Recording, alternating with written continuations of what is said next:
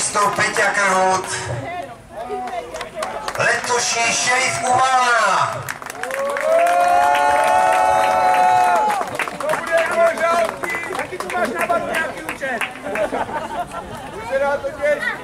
Čtvrtá místní účastnice Markéta Šrubařová. Věřím tomu, že i pořadí v šerifovi nebyla příliš daleko, určitě byla těsně kolem toho místa. O dva body slyším, no to je neskutečné.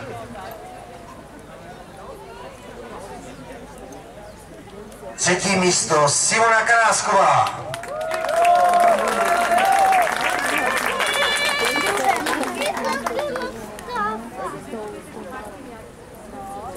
Druhý buldozer dámských ložnic Miky, to bude mi dneska náročné.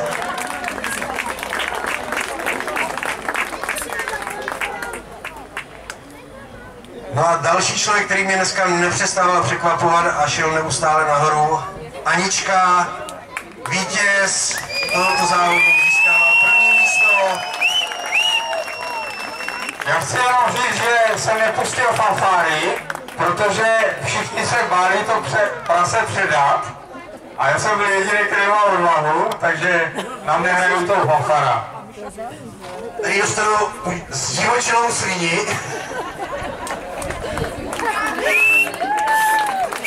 No, zdenku v koni neprodává, je to hajzlu. Takže všem moc gratulujeme, děkuji všem divákům, doufám, že jste se všichni bavili a že se budete bavit i nadále, kdy pořadatelé pro vás připravili country ball, občerstvení je tady neustále, myslím si, že dostatek, všechny ostatní stánky fungují, takže věřím tomu, že se budete bavit, počasí nám přeje a předávám slovo pořadateli.